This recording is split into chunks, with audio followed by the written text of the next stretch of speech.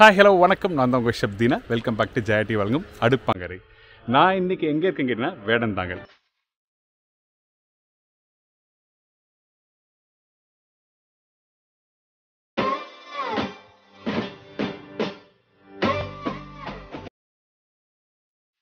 இந்த வேடந்தாங்கல அளவு அது வந்து எவ்வளோ பெரிய இடம் கேட்டிங்கன்னா கிட்டத்தட்ட எழுபத்தி மூணு ஏக்கர் பரப்பளவுல தான் இந்த வேடந்தாங்கல் அதில் பர்டிகுலராக ஆஸ்திரேலியா கனடா அப்புறம் பங்களாதேஷ் அதுக்கப்புறம் ஸ்ரீலங்கா. இந்த மாதிரி கண்ட்ரிலேருந்து நிறைய பறவைகள் வரும். அது மட்டும் இல்லை இங்கே வர பறவைகள் எல்லாமே வந்து இங்கேயே தங்கி முட்டையிட்டு குஞ்சு பெருக்குன்னு சொல்கிறாங்க ஸோ இது மாதிரி நிறைய விஷயங்கள் இருக்குது கண்டிப்பாக உங்களுக்கு சான்ஸ் இருந்தால் வேடந்தாங்கல் வாங்க. இன்றைக்கி ஒரு அருமையான ப்ரிப்பரேஷன் பண்ண போகிறோம் வாங்க.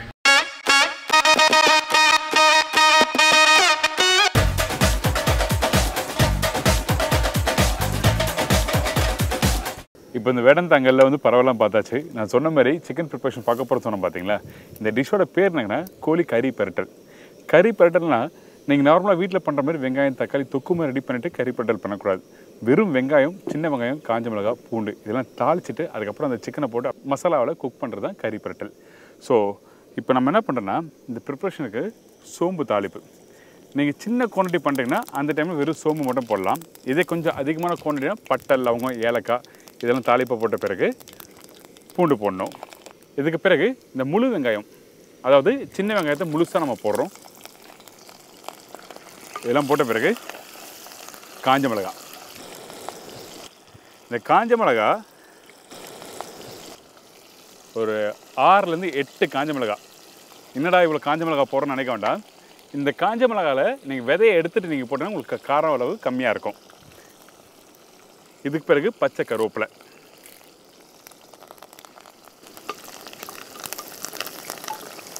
இதெல்லாம் போட்ட பிறகு இதுக்கப்புறம் சிக்கனை போட்டு அப்படியே பெரட்டி மசாலா போட்டு குக் பண்ண போகிறோம் மசாலா பேசிக்காக யூஸ் பண்ணுற மசாலா தான்.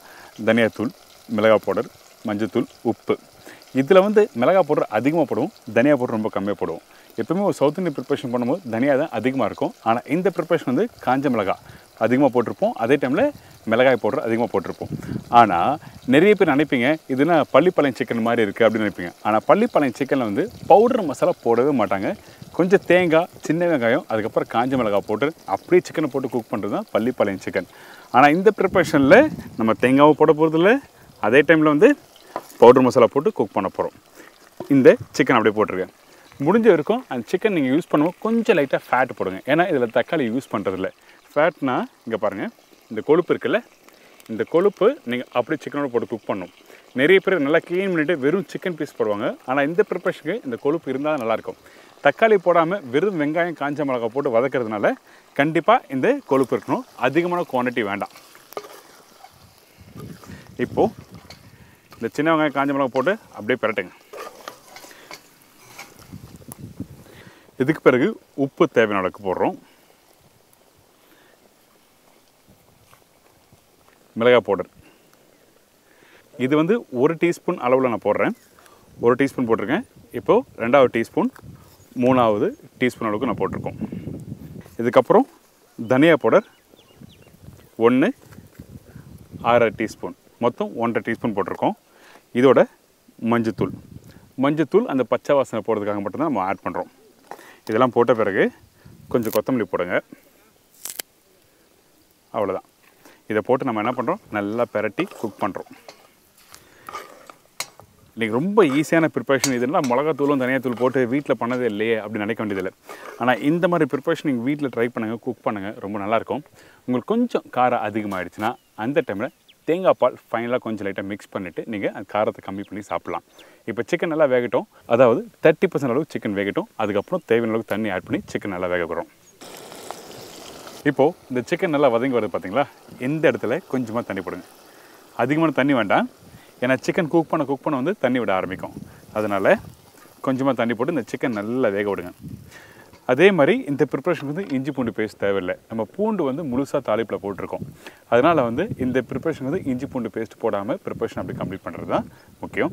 ஏங்கன்னா அந்த இஞ்சி ஒரு ஸ்ட்ராங்கான ஒரு வெஜிடபிள்ஸ் அந்த ஸ்ட்ராங்கான வெஜிடபிள்ஸ் போட்டால் அந்த டேஸ்ட் மாறும். காஞ்ச மிளகாவோட அந்த உண்மையான அந்த டேஸ்ட் எடுத்து கொடுக்காது. அதனால தான் இஞ்சி பூண்டு பேஸ்ட் போடாமல் வெறும் பூண்டு மட்டும் போட்டிருக்கேன்.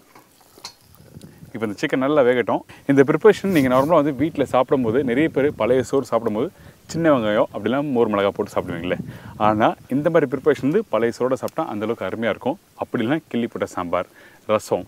இந்த மாதிரி ப்ரிப்பரேஷனோட சாப்பிட்றதுக்கு சூப்பரான ப்ரிப்பரேஷன் அது. இப்போ அந்த சிக்கன் நல்லா வேகட்டும். அதுக்கப்புறம் ஃபினிஷிங் பண்ணிடலாம். ஃபைனலாக நம்ம என்ன பண்ண போனால் மிளகு பவுடர் அதுக்கப்புறம் வந்து கொஞ்சம் கொத்தமல்லி போட்டு ஃபினிஷ் பண்ண போகிறோம் அந்த மிளகுத்தூள் வந்து அதிகமாக போடாது சும்மா லைட்டாக பிஞ்ச் போடுறோம். அதாவது பேச்சுக்காக கொஞ்சமாக போட்டு மிக்ஸ் பண்ணி இறக்குனா இந்த ப்ரிப்பரேஷன் ரெடி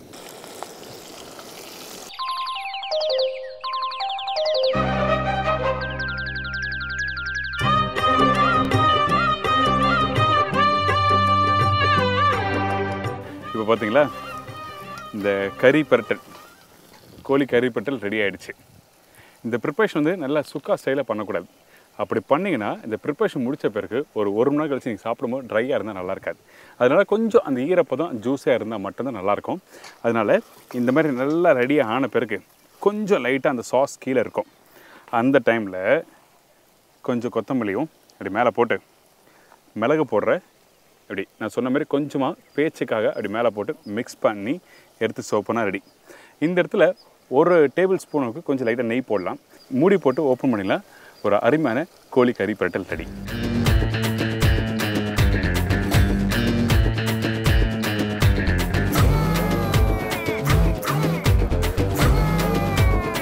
இதே மாதிரி அடுத்த வாரம் புது மக்கள் புது இடம் புது ரெசிபி புது எக்ஸ்பீரியன்ஸ் சந்திக்கிறேன். அதுவரை உங்கள் இடமிருந்து விடுப்பது உங்கள் Shabdina. See you bye take care